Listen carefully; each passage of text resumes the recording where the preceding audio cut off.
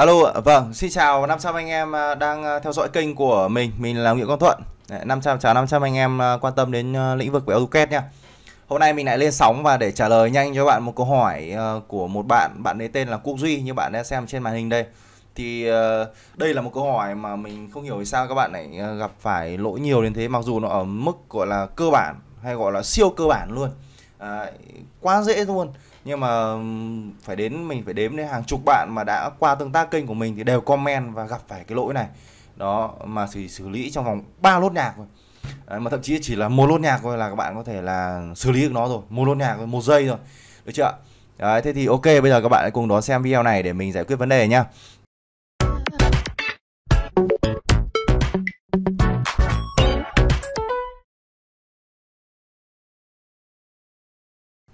Thì đây là câu hỏi của bạn Quốc Di bạn ấy mang đến cho mình.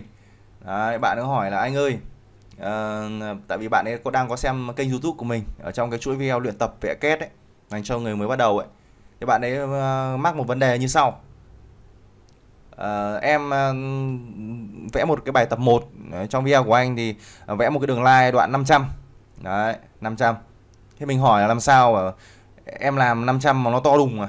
Đấy, em vẽ kích thước 5 10 thì nó còn ờ, nhỏ nó còn nhìn thấy được quản lý được. Chứ 50 thì nó cũng quản lý được nhưng đến 500 thì nó to đùng à. Đấy chưa nói đến 5000 đúng không ạ? 5000 mm thì chỉ có 5 mét thực tế thôi. Mà bản vẽ của tao thì là hàng uh, chục mét trăm mét là km. Đấy, vẽ uh, các bạn nhập mà liệu là 5000 50.000 500.000 chắc là uh, không thấy gì luôn đúng không ạ? À, không thấy chân trời đâu cả đúng không ạ? Đấy thế thì mình có hướng dẫn các bạn là sử dụng cái lệnh này là Z cách E cách là hết luôn. Thế nhưng mà các bạn ấy có thể là mình trả lời nhanh như này hoặc bất kỳ hỏi người nào cũng trả lời rất là nhanh như này thôi. Z cách A cách hoặc Z cách E cách nhưng mà nó chỉ xử lý được tức thời thôi nhưng còn vấn đề bản chất thì các bạn chưa hiểu được. Thế thì mình sẽ giải quyết trong cái video này để cho 500 anh em nào chưa biết thì cùng theo dõi nhá. Ok ờ, đây là câu hỏi của bạn Quốc Duy cũng rất nhiều anh em mắc phải và comment trong kênh của mình. Được ạ. Đấy thì mình mở AutoCAD lên này đấy thì mình sẽ làm lại các bạn nhé các bạn vẽ được đoạn line này. Ví dụ vẽ đoạn 10 đi. Đấy, các bạn thấy không? Đoạn 10 thì thấy điểm đầu điểm cuối rất dễ đúng không ạ? Vẽ đoạn 50 đi. Line 50 ok ạ. À, bắt đầu là thấy nó, nó to to và nó, nó đã nhưng vẫn nhìn thấy đúng không ạ? Vẽ 500 thì nó là như thế này. Đấy, nó to đùng rồi. Đấy, ký lên màn hình này. Đúng trường hợp của bạn Duy luôn và rất nhiều anh em luôn. Thế vấn đề ở đây là gì? Chúng ta còn bấm lệnh Z cách E cách đó Z cách E. Thì lập tức là gì? Ở đây mình à, thiết lập chút này để cho cái trục nó đỡ vướng. Ok nếu bạn thấy không? Cái đoạn 500 này bạn đo kích thước đúng 500 ạ. Đấy, hoặc là chỉnh đơn vị đi các bạn nhìn nó bị nhỡ, ờ, lẫn nhé các bạn nào chưa biết chỉnh đơn vị thì vào xem video là năm bước thiết lập quan trọng trước khi vẽ két của mình. Năm bước thiết lập quan trọng trước khi vẽ két thì mấy cái thông số này mình nhìn rất là dễ. Đấy, mình uh, cho xuống này. Đúng 500 không ạ? Đoạn này bao nhiêu đây ạ? 50 ạ. 10. À, vì sao mà chúng ta lại có thể nhìn ờ, thấy toàn bộ các cái đối tượng như này đúng không ạ? À, thì, thì đây là vấn đề mấu chốt nó nằm ở cái bước gọi là uh, lệnh về quản lý giao diện bản vẽ. Quản lý giao diện bản vẽ. Đây là cái bài gọi là số 1 đấy, bài đầu đầu tiên số 1 các bạn làm việc với CAD thì bạn đều được học. Nếu như bạn tham gia một khóa học online bài bản hoặc là bạn tham gia một khóa học offline tại lớp một trung tâm hoặc là một người anh chị nào dạy bài bản theo lộ trình các buổi thì các bạn đều được học bài này. Quản lý giao diện trong AutoCAD thì nó sẽ có những cái lệnh để giúp bạn quản lý giao diện. Thì cái lệnh uh, uh, Z là lệnh zoom này là một trong những lệnh đấy. Ngoài ra có lệnh RE đấy, lệnh ờ, lệnh Regen lệnh làm mới. Với những kết đời cao nhé ví dụ như từ 2010 2015 trở lên mình sử dụng thì ở trong AutoCAD dùng rất là mượt tức là bạn có thể zoom nhỏ như này zoom to như này. Đấy tức là ví dụ bạn vẽ đoạn 500 này bạn không thấy đâu bạn zoom nhỏ lại lăn chuột zoom nhỏ lại đúng không ạ? Thì bạn vẫn thấy nó. Tuy nhiên vấn đề là phần lớn các bạn mới học AutoCAD thì bạn lại lựa chọn cái phần mềm nào ạ? Phần mềm 207 AutoCAD 2007 và mình đoán không nhầm thì bạn Quốc Duy cũng đang là một uh, anh em uh, dùng phần mềm này phần mềm này nó có một cái nhược điểm là tính năng nó chưa tối ưu và nhiều cái rất hạn chế. Thế khi mà bạn zoom ấy ví dụ bạn vẽ 500 là bạn zoom thì bạn chỉ zoom được vài lan chuột thôi là nó nó bị cứng màn hình luôn tức là nó không cho zoom nữa. Nó không cho zoom nhỏ nhìn thấy hết đây đâu. Đấy, ví dụ đây là mình zoom uh, kết đời cao cho zoom ờ, gọi là uh, mượt luôn đúng không ạ? Ờ, xa gần gọi là tùy nhưng mà ví dụ kết 27 nó chỉ bạn cho bạn cho bạn lăn zoom một lần hai lần ba lần và đến lần 4 thôi là nó sẽ bị cứng để mà gia tăng thêm cái khoảng giới hạn zoom thì bạn phải dùng lệnh RE đây Regen tức là lệnh ờ, làm mới bản vẽ hoặc là gọi là lệnh mình hay gọi nó tính năng là gia hạn thêm cái khoảng zoom làm mới bản vẽ. Đó, đây lệnh um, RE nhé đây lệnh RE bạn thấy không ạ? Regen thì khi đấy à, nếu bạn nào mà dùng AutoCAD 207 thì bạn mới quan tâm này thôi. RE sau đó thì bạn lại tiếp tục lăn con trỏ chuột thì nó lại cho phép zoom. Uh, thêm một đoạn nữa sau lại RE tiếp. Tức là trong CAD 27 bạn phải dùng lệnh RE rất nhiều và kết hợp với lệnh zoom. Được chưa? À, hoặc là đối với cái trường hợp bạn duy thì bạn lệnh z cách e cách luôn. Thì lệnh này là lệnh gì? Lệnh zoom này lệnh e là cho về toàn bộ cái đối tượng có trong cái môi trường làm vẽ của bà của các bạn ấy để trở về nguyên với khung giao diện của màn hình này được chưa? Đó. Z cách này. E e ở đâu xuất phát từ cái lệnh uh, các bạn sổ cái phím xuống ở trên bàn phím các bạn chơi F-Line có phím xuống trên bàn phím không ạ? Thì khi bệnh uh, bạn uh, gõ là Z này cách này bấm phím xuống sẽ có lệnh là E là extended này. Tức là mở rộng toàn bộ khung hình ra. Hoặc là các bạn có thể là Z cách A cách. E là viết tắt của cái chữ extend này.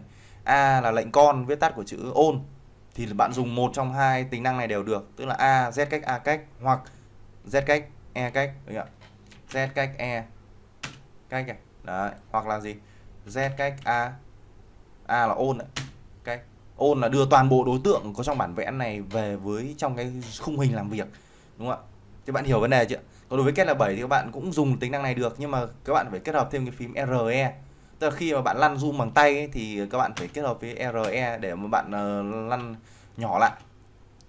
Ok ạ bạn Tiến Duy và các bạn khác đã hiểu vấn đề chưa đây là lệnh quản lý giao diện khung hình mà tất cả các bạn phải uh, thuộc nó và dùng nó giống như cái việc các bạn bật mở máy tính vậy thôi. Thì khi đã dùng AutoCAD các bạn phải thuộc lầu cái lệnh này và luôn luôn dùng nó. Dùng như một thói quen đúng không ạ? Bạn hiểu vấn đề rồi đúng không ạ?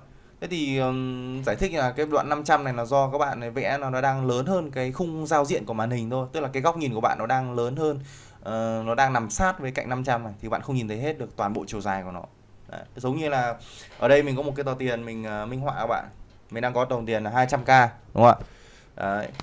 đồng tiền thì người ta hay ví đồng tiền thì hay uh, uh, là có giá trị đúng không ạ nhưng mà đôi khi thì nó rất tốt nhưng nó lại mang lại những cái sự bạc bẽo dành cho con người hay gọi là đồng tiền là mờ mắt con người. Thế bạn để minh họa với tình huống này thì bạn có thể là mình lấy ví dụ như sau này. Nếu đồng tiền nếu bạn mà để đặt xa xa ra đưa, đưa xa cánh tay ra. Đấy, thì mình nhìn nó rất là rõ và nhìn thấy rất là đẹp chỉnh chu màu sắc và quan sát rất là rõ đúng không ạ? Nhưng mà đồng tiền nó sẽ làm mờ mắt chúng ta nếu chúng ta đặt sát mắt của chúng ta như này. Đúng không ạ? Các bạn sẽ không nhìn thấy gì luôn. Đó. Và trường hợp này đúng là đồng tiền làm mờ mắt con người đó. Và khi này thì bạn đúng như bạn không nhìn thấy cái ờ, hết toàn bộ cái mặt sau hay mặt trước hay của cái tờ tiền rồi bởi vì nó che hết mắt chúng ta rồi. Đơn giản vì bạn đặt nó quá gần. Đấy. thế thì giống cái đường line kia thôi. Bạn phải đưa cái mắt của mình ra xa tức là đưa cái giao diện ờ, cái khung giao diện này nó ra xa ra ok thì bằng các cái lệnh mà mình đã chia sẻ cho các bạn. Đó là lệnh một là z cách z là zoom z cách e cách hoặc a cách. Đấy, lệnh con. À, hai là lệnh ờ, re làm mới. Với những bạn sử dụng AutoCAD 207 thì dùng thêm lệnh re re Đấy. Còn ờ, các bạn dùng kết 2015 ờ, trở lên mình nhớ bằng máng đấy thì các bạn dùng lệnh RE nó tần suất nó ít hơn. Vẫn dùng nhưng mà dùng nó tần suất nó ít hơn. Gọi là làm mới bản vẽ cập nhật bản vẽ. Đấy, hoặc là gia hạn thêm khoảng zoom cho bản vẽ. Đấy là chức năng của lệnh RE vâng thì uh, đây là một cái bài rất là cơ bản thôi. Thì uh, vấn đề sâu xa nữa mình muốn gửi tới các bạn cuối cùng trong video này. Cũng dài rồi 10 phút rồi. Đó là lời khuyên. Dạ lời khuyên ờ, với kinh nghiệm của mình học kết và chiêm nghiệm từ rất nhiều trong năm uh, gần 5 năm làm việc AutoCAD của mình cũng như là 3 năm mình dạy AutoCAD. Uh, đấy bây giờ phải tính gần chục năm rồi và cũng rất nhiều đàn anh làm việc học hỏi và mình quan sát. Thì lời khuyên chân thành cho những bạn mới bắt đầu là hãy đi tìm cho mình một khóa học bài bản. Đừng tự mày mò, được chưa? Đừng tự mày mò đi rất chậm và rất mất thời gian và bị hiểu sai lệch lạc vấn đề, bị thiếu hỏng vấn đề rất nhiều, được chưa? Cái việc các bạn tự học trên YouTube, ví dụ học bạn kênh của mình hoặc những kênh khác ở trên YouTube thì nó chỉ là một cái phần bổ trợ thêm thôi. Tức là các bạn củng cố thêm kiến thức, học những cái mẹo hay, những cái thủ thuật hay hoặc những cái xử lý lỗi hay những kinh nghiệm của người khác, kinh nghiệm của mình làm việc còn để bài bản thì các bạn nên học một khóa gọi là từ A đến Z được chưa ờ, đương nhiên nó nó chỉ phù hợp với các bạn thôi không không cần phải học đến quá chuyên sâu nâng cao như bạn học những khóa cơ bản từ cơ bản uh, những cái khóa từ giao diện đến quản lý text dim AutoCAD layer block xuất bản vẽ layout thì các bạn nên học bài bản. Đừng bỏ sót và đừng tự học. Mất thời gian vòng vo quá nhiều thời gian luôn nó chỉ ờ, một khóa thì ở trên thị trường nó chỉ rơi vào tầm AutoCAD thì rơi vào tầm 600 800 đến triệu rưỡi nếu không là trung tâm nào rất là xịn sò à, à, thế thôi. Khóa cơ bản nâng cao thì thêm một ờ, một ờ, một khóa nữa. Còn bạn nào mà học những cái khóa về online thì có thể là học những cái khóa nó rất rẻ có thể chỉ tầm 200 nghìn 300 nghìn 500 ngàn thôi. Mua một lần học trọn đời AutoCAD ở đây mình có thể giới thiệu các bạn, đề xuất các bạn, nếu bạn nào mà có cái trí tiến thủ và có cái cái quyết tâm mình học thật sự là nghiêm túc với cái công việc của mình, để mình làm sao ạ? Mình học sớm, mình làm chủ AutoCAD sớm. Các bạn đã xác định theo nghề rồi mà. Thì chúng ta sẽ thành thạo CAD thành thạo công việc. Dành thời gian đó, các bạn tối ưu được đi học những cái khác, đi học thêm kiến thức chuyên ngành, đi học thêm những cái phần mềm khác hoặc là những kỹ năng sống khác. Còn cái việc AutoCAD các bạn nên giải quyết nó sớm đi tức là thành thạo nó sớm đi. Tối ưu cái thời gian đấy các bạn học thêm những cái khác ở ngoài kia. Nâng cao kiến thức của bạn kỹ năng giao tiếp kỹ năng về uh, quản trị thời gian kỹ năng về uh, uh, công việc chuyên sâu của các bạn gặp khách hàng hoặc là lên ý tưởng vân vân. Nên đầu tư làm cho công việc đấy. Khi bạn thạo rồi thì các bạn sẽ rút ngắn được quãng đường lại đến cái việc các bạn thành công. Thành công ở đây có là kiếm tiền đúng không ạ? Kiếm tiền hiệu quả công việc của các bạn trong cái chuyên môn các bạn đang làm việc được chưa? Chứ bạn đừng mất quá nhiều thời gian có những bạn là mất một năm 2 năm 3 năm thậm chí là 4 năm loay hoay gọi là biết kết gọi là cái gì cũng biết nhưng không biết cái gì. À, tức là luôn luôn vật lộn với AutoCAD và động đến phần mềm. Hay khi ta làm việc để dùng để kiếm tiền thì chúng ta dùng kiểu bị dao bị bị cùn ấy, đấy, dùng không hiệu quả gì cả rất buồn cho các bạn luôn.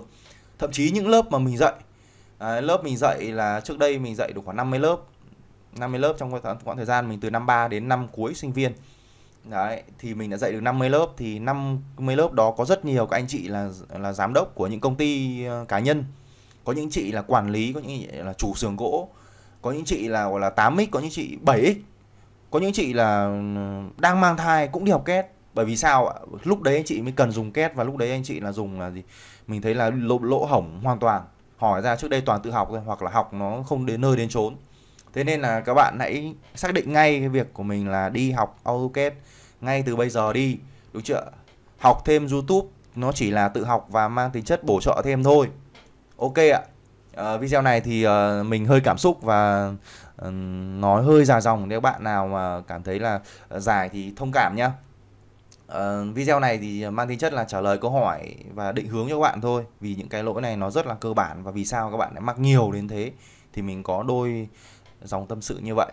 Gửi đến bạn uh, Quốc Duy cũng như 500 anh em khác mới vào AutoCAD thì uh, xác định cho mình cái tư duy là cái đầu tiên rồi mới tiến hành đến học chuyên sâu nó bất kỳ một cái gì. Uh, cảm ơn các bạn đã đón xem video này nhé uh, bây giờ cũng uh, dài rất là dài rồi. Mình muốn xin phép kết thúc cái video này tại đây. Cảm ơn bạn Quốc Duy đã gửi uh, câu hỏi đến cho mình. Uh, chúc các bạn thật là hạnh phúc thành công trong cuộc sống làm chủ công việc của mình. Có bất kỳ câu hỏi nào hãy gửi đến ờ, kênh của mình. Mình sẽ chọn lọc những câu hỏi hay để gửi đến cho tất cả các bạn nhé Ok mình là Nguyễn Quang Thuận. Theo dõi kênh và chia sẻ kênh video của mình để nhận thêm nhiều video hay ho hơn nữa về chủ đề AutoCAD và cuộc sống của mình. À, xin chào các bạn nhé đấy, những cái kênh của mình các bạn để theo dõi ở trên đây. Ok, xin chào các bạn.